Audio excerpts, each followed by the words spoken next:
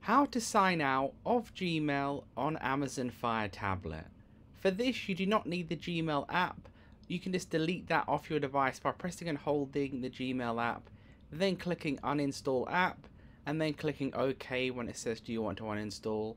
That's not necessary, all you need to do is click the email app on the home page there on the Amazon Fire tablet, so click the email, then it should bring up the Gmail inbox, then you want to click the top left hand corner where it has the three little lines, then you want to click settings in the bottom left hand corner there, then you will see a section where it says Gmail bracket default. Click on that Gmail section there. And then you want to scroll down on your account. And then in the remove account section you can click delete account from this device.